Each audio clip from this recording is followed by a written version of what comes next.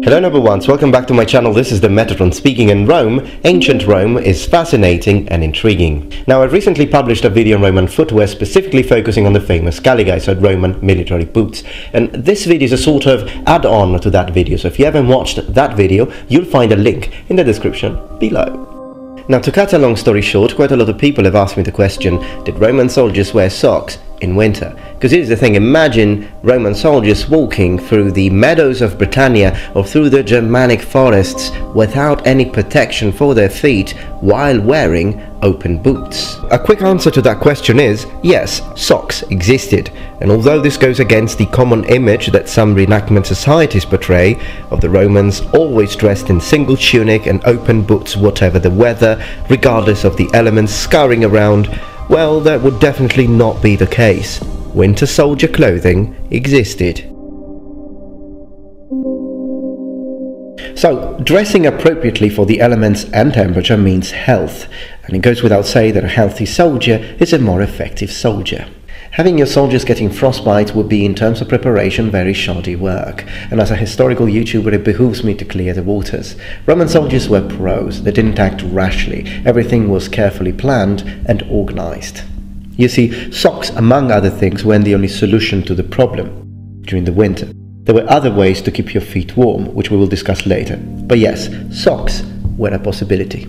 Socks in Latin were called udones, and there are a few sources that mention them. One of the most famous one is from the writing tablets from Vindolanda, written on fragments of thin, mole, wooden leaf tablets with carbon-based ink which date to the 1st and 2nd century AD, roughly contemporary with Hadrian's Wall, a rich source of information about life on the frontier of northern Britain.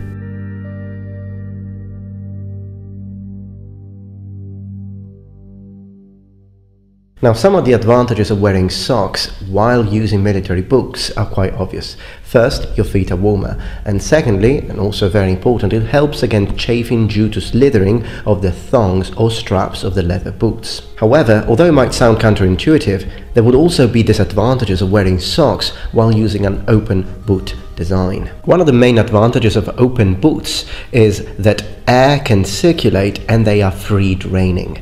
Now imagine that you are crossing a river and your feet get all wet. Well, if you're wearing socks, the draining, the uh, drying of the feet is going to take a lot longer because of the fact that now your socks are completely full of water. Whereas if you're not wearing anything apart from your leather boots, then because of the air circulating, your skin will get dry very quickly. So when deciding wearing socks, you would lose that advantage. So I think that the Legion would also choose if it was if it were the case to wear socks or not, depending on the sort of geography and terrain that they were going to march on.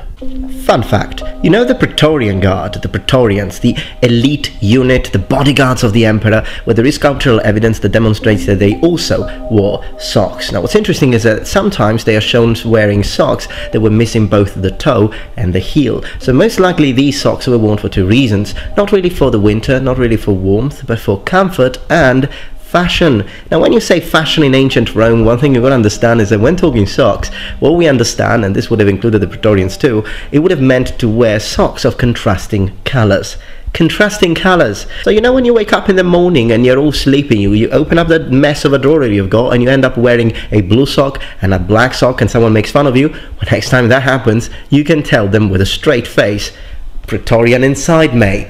Praetorian inside. And talking about Romans, do you like my t-shirt? This is a Metatron original gladiatorial t-shirt, Secutor class. So come on, don't be a muppet, get one now, link in the description below. You're gonna look great in it. Come on, click it. Come on! We have a few remaining socks from Roman times that can give us an idea on how they made them. In the north of England we have a single sock found at the site of Vindolanda, made of two pieces of wool tacked Together, the sock is frayed and shows visible sign of tear. It is 16 centimeters long and 7 centimeters wide, so it probably belonged to a child. On the other hand, if we look at socks from Roman Egypt, we see a more complex design, and one could say an early form of knitting, or as people call it, cross-knit looping, as it does have some common manufacture basis with netting. These socks reach about the ankle and have a gap between the large toe and the other toes to allow a thong from the sandals to pass through. The socks are constructed from the toe upward and have different colored bands. Excavations at Antinoopolis and Akhmin Panopolis show quite a lot of socks, both military and civilian. A fine rough wool specimen made in bands of green, red, blue and orange, whereas from Akhmin Panopolis, archaeologists recovered specimens that were calf length with a string around the upper edge for fastening. Among other colours, we've got black and green socks for cavalrymen and also in the horseman graves, woolen specimen with green soles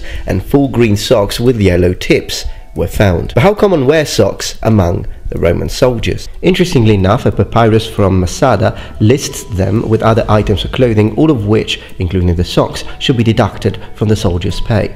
So what this probably means is that socks were issued and therefore rather common. So here's another interesting piece of information. Socks were not the only way in which you could keep your feet warm during winter. There was another way that is documented and attested, and it's using rabbit skin wrappings. What this means is that you would have a rabbit skin and then you would just wrap it around your feet a few times and then you would wear it continuously for a few weeks, even four weeks possibly, and it would keep your feet warm form would sort of work similarly to how a sock does, but of course it would be much more of a less um, expensive, we could say, or anyways, not the socks would be expensive, but definitely a sort of use and then throw away solution, a sort of momentary solution. So perhaps if you didn't have a very long winter, or perhaps the winter was coming to an end, and you perhaps didn't want to use your socks, or you didn't even have socks, or perhaps you lost your socks for whatever reasons, then you could use rabbit skin wrappings, and after the four weeks would be done, would just take them and throw them away.